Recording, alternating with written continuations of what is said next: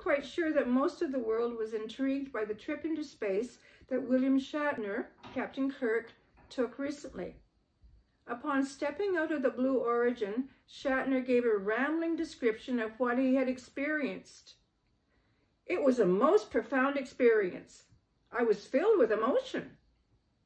I hope to never recover from it. It has to do with the suddenness of life and death.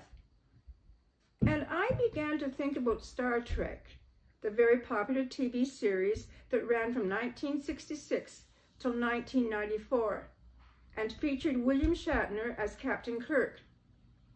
Now let's zoom forward to 2021 and think about this TV sh uh, show that held people mesmerized for 28 years. Let's analyze how we view William Shatner's comments. I doubt very much if Shatner really grasps the true meaning of life and death. As we approach the season of Christmas, we think about our Savior, who will return in greater splendor than what Shatner witnessed. Jesus, the incarnate Son of God, was born in Bethlehem and voluntarily went to the cross to give us new life. And the most wonderful truth is that someday Jesus will return. And that is our glorious hope.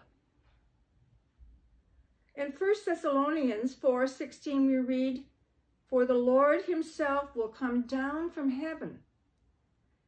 And we also have the breathtaking picture of our Lord when he finally returns. We read in Revelation 21:2, I, John, saw the holy city, the new Jerusalem, coming down out of heaven from God prepared as a bride. And Jesus affirmed his second coming in Revelation 22, 12. Behold, I am coming soon.